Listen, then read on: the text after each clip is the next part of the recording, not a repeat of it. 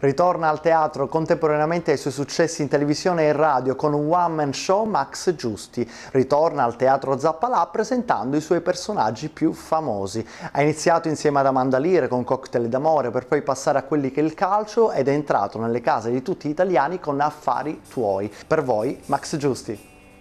A Palermo dopo sì. quanto tempo?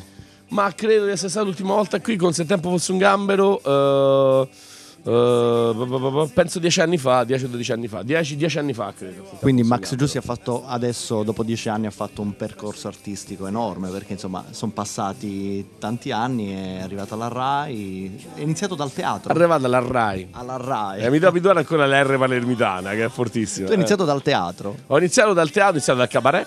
Ho iniziato dal cabaret e io ho iniziato all'Alfellini di Roma nella stagione 84-85. Avevo 16 anni e mezzo eh, e sono entrato nella compagnia stabile, mi ricordo che guadagnavo eh, 30.000 lire a settimana, inizialmente niente. Eh, e poi da lì è partito tutto questo percorso che mi ha portato a fare cose diversissime fino ad arrivare qua. Quando hai capito che stava succedendo qualcosa che ti poteva cambiare, che ti stava cambiando la vita? Guarda, per assurdo il segnale del grande successo è stato proprio con Malgioglio. Veramente, ah, sì. quando iniziato a fare, facevo un programma con Marco Giussi, si chiama, Marco Giussi, si chiama Cocktail d'amore, eravamo io a Mandalir sì.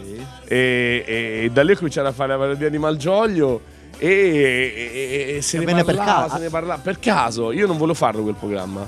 Non mi piacevano alcune cose, non ero più d'accordo. Poi a un certo punto bisogna andare a truccare e, e dice che facciamo? Non mi viene in mente niente, però mi stava così antipatico Malgioglio, che invece poi è diventato un, uno squisito amico che saluto, eh, che poi mentre mi truccava facevo, ma io sono uguale.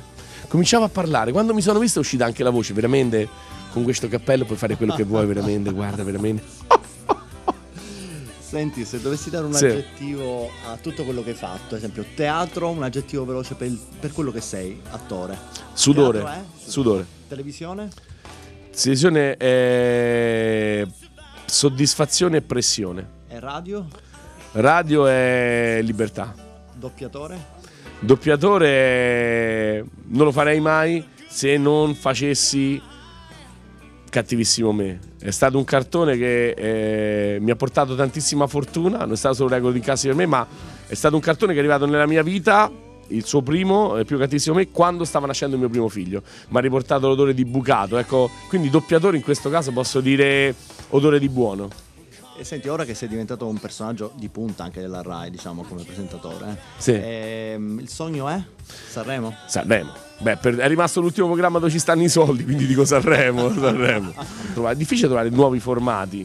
Eh, dopo aver fatto una corazzata come affari tuoi, che è eh, io volevo un po' mettermi alla prova e anche perché insomma ho voluto un po' ascoltare il pubblico e ascoltare un po' il teatro. Io manco dal teatro da eh, praticamente con una vera tournée da sei anni, quindi alla fine tornare... Ti ci stai rigettando felicissimo. Felicissimo, ma dopo un anno e mezzo che farò teatro vorrò rifare televisione, dopo un anno e mezzo che farò televisione voglio fare la fiction, voglio fare le parodie, sono così, però sai, cambiando sicuramente si impara molto. Senti, l'hai detto in conferenza stampa e poi ti lascio. Uh, ti hanno fortemente voluto qui al teatro Zappalà. Hanno sì. voluto Max Giussi, sono stati dietro a Max Giussi un bel po' di tempo e hanno avuto la pazienza di aspettare e comunque insomma ci siamo riusciti. Quindi una settimana con questo spettacolo che due settimane, due, due settimane, settimane, che inizia qua proprio da Palermo oppure... sì eh, inizia da Palermo sarà l'unico, l'unico, appuntamento siciliano e è proprio l'inizio della tournée invernale. Abbiamo fatto solamente tre appuntamenti prima poi la pausa per la papera e ripartiamo da qui. Ho detto partiamo da qua per arrivare fino a Milano a Roma a Torino a Mestre a Trieste insomma un tour enorme ma a partire da qui è partire con una scommessa. Ricordatevi che cos'era questo posto vent'anni fa.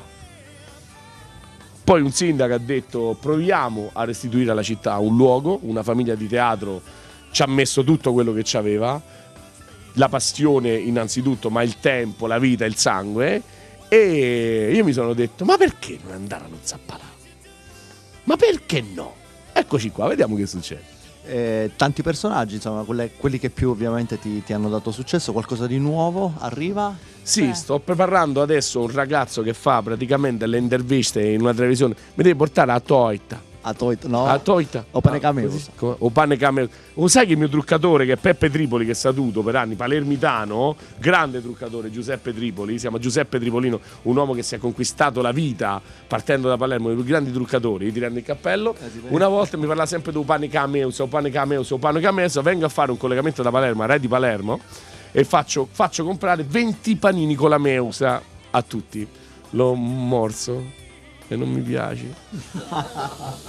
Se ne frega. No, perché eravamo allo studio di là, a un certo punto è entrato Vissani, ha visto il barboncino, ha fatto ah l'agnello lo facciamo flambé, invece il cane è scappato completamente, no? No, guarda, Io mi scuso. devi smettere di interrompere questo mio programma. E allora ti facciamo in bocca al lupo. Crepi, e vi aspetto tutti a teatro. eh, i palermitani risponderanno per Guardate, come c'è, sanno. c'è una sola cosa, c'è un solo stemma per questo spettacolo, uscirete così.